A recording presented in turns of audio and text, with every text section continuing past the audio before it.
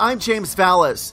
Two passenger trains have collided head on in the town of Bad Aibling in southeast Germany, killing at least nine people and injuring more than 100 others.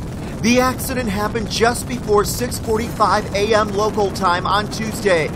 Two passenger trains operated by Meridian collided head on on a single track line between Rosenheim and Holzkirchen, causing one of the trains to partially derail. A large number of rescue workers have responded to the scene, including at least eight air ambulances, some of whom were flown in from neighboring Austria. By 1 p.m., regional police confirmed that at least nine people had been killed and that about 100 others were injured, 18 of them seriously.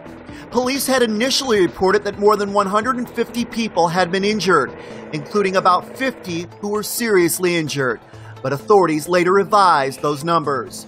Tuesday's accident happened in the state of Bavaria, about 25 miles southeast of Munich The cause of Tuesday's accident was not immediately known.